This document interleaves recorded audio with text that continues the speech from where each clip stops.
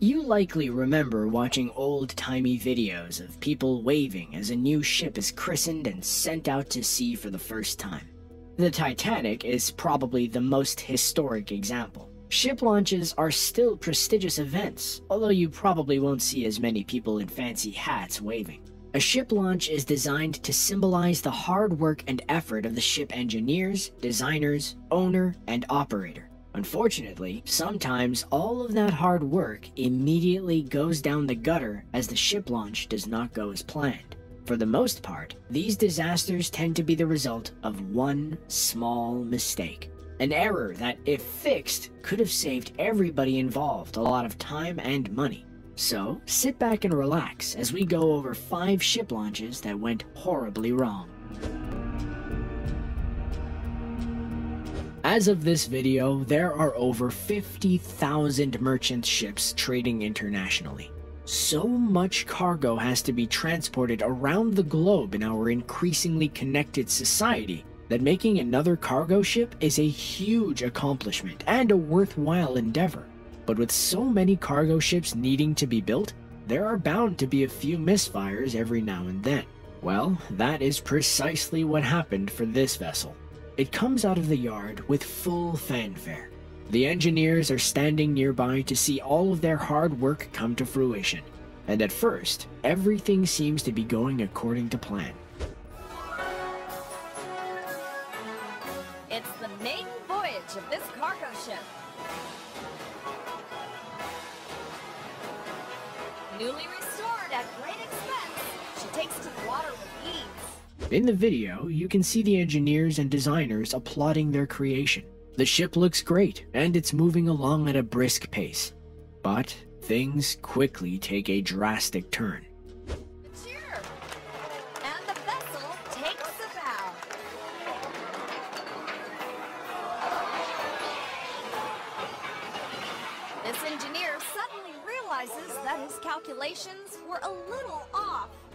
The boat barely lasts 20 seconds outside of the yard before it starts to tilt to its starboard side. Fortunately, the ship doesn't flip all the way upside down, but it obviously can't go out to sea like that. Luckily, no one was on the main deck at the time of the tilting.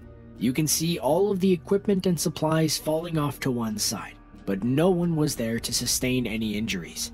What do you think would have caused a big ship to tilt like that? Let us know in the comments.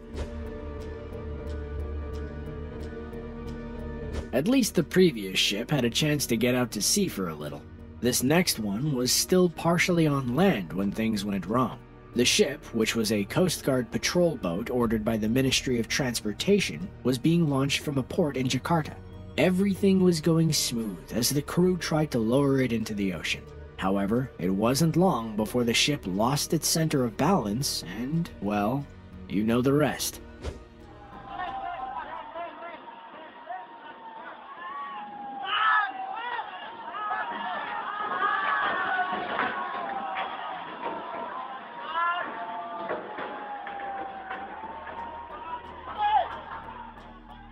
You can see the onlookers react in horror once it's clear the ship is about to capsize, and there is nothing they can do to stop it. After the ship is on its side, the first crew members begin jumping off. Luckily, there were no injuries.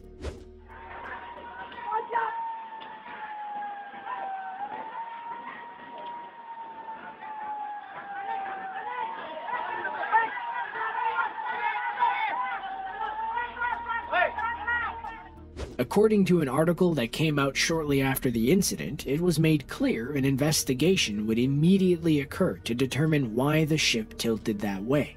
Additionally, Arifin Suaryo, head of the port in question, said that the shipyard company should be sanctioned and not allowed to create any new state ships until the investigation was completed.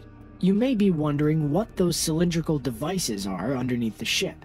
Turns out, they're pretty common when it comes to ship launches. They go by many names, such as marine airbags, airlift bags, salvage bags, or roller bags.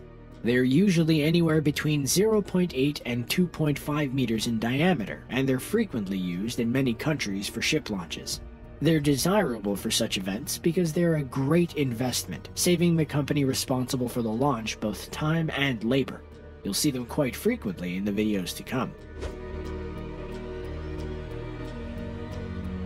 The people in this next video try to get their boat into the water via crane. Everything seems to be going okay at first. The boat is strapped in and ready to go. Now, they just need to lift it up so that they can gently lower it into the water. As you should expect by now, not everything goes according to plan. Things look alright initially, but you can gradually hear something start to buckle under the immense weight. Something is about to give, and the boat owner is about to have a very, very bad day.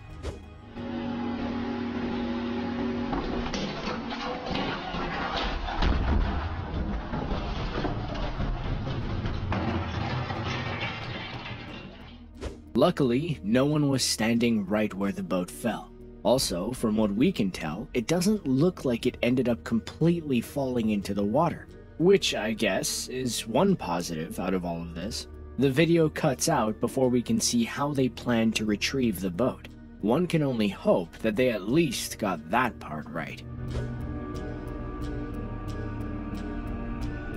When you gather a bunch of people for your big event, you want everything to go swimmingly. If you thought you had it bad when the pizza at your last birthday party arrived late, just imagine what the engineers of this luxury cruise ship felt when their boat was unable to float.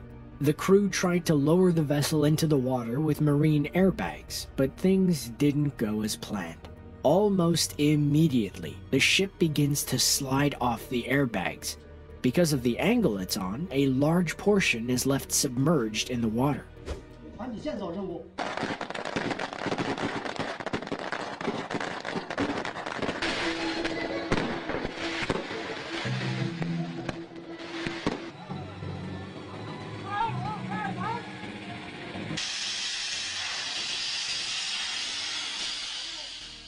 People immediately go to the bow of the ship to try to balance it out. With all of their might, they try to get the vessel to regain its balance and float perfectly on the water.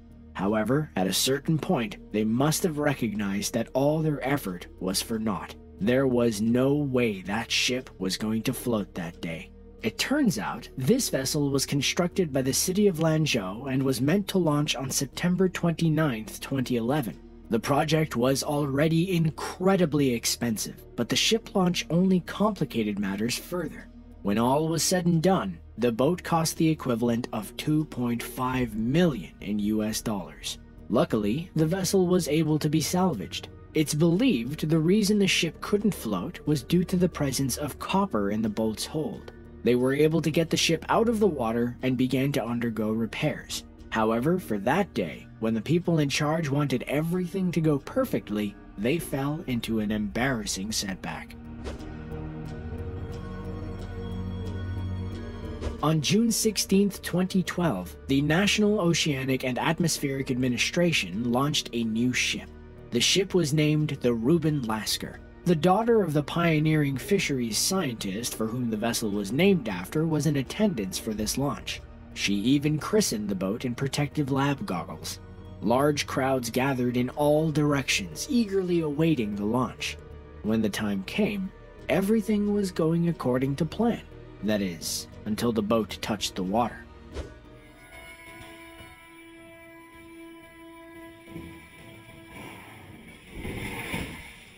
The video gets replayed again in slow motion so that you can really see those wooden posts become upended and head straight for the camera. There were some injuries reported at the scene, but fortunately, no one was critically injured. It's a bit unusual for there to have been so much wood at the scene. The person who captured the footage would later write about why, saying, the boats normally have steel rails welded to the hulls that ride along the metal bleacher looking things when the boat is set free. After the launch, these are obviously removed. However, with this boat design, they were unable to attach these steel rails and had to use wooden ones instead. I have a friend that works for the shipyard, and basically, someone made a huge misjudgment, and the wood split and flew everywhere, as you can obviously see from the video. After this incident, viewers were no longer allowed to be so close to the launches. It wasn't long before more footage began to circulate online of the incident, but from other angles. One person managed to capture the launch in such a way that you could clearly see where the original camera person was standing. Watch closely at the bottom left of the screen.